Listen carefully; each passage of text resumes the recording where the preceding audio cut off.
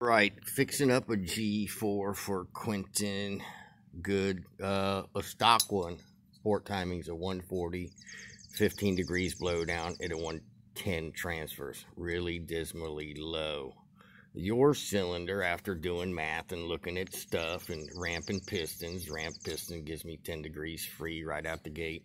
So here's the problem. A 110 transfer is really low and the port separation. That's why I make lines. Port separation from exhaust port opening to transfer opening is what's considered blowdown.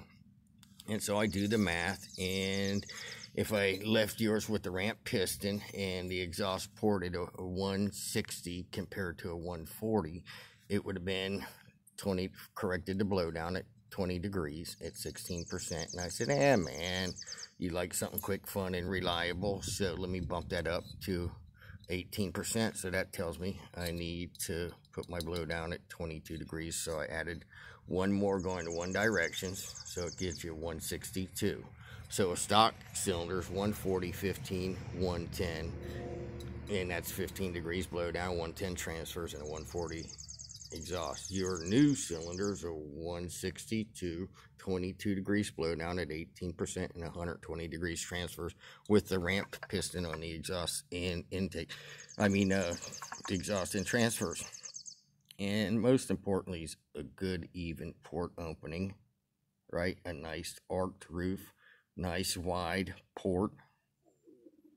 And at the end of the day, since the rings travel below the exhaust port, you want to leave uh, upside down smiley face, right? Nice radius turn so you don't got any ring snag. Your port's a lot wider, and that's what those marks are. And your boost port, you see that line down there represents blowdown, and you just come all, I mean transfer opening, you come all the way around, and you mark mark the freaking uh line in your cylinder, right? And that's where my transfer opening is.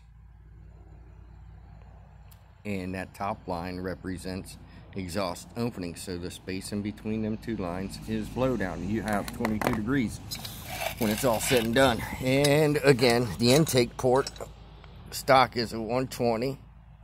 And I end up, I don't know if you can see lines, I was like, that's my phone.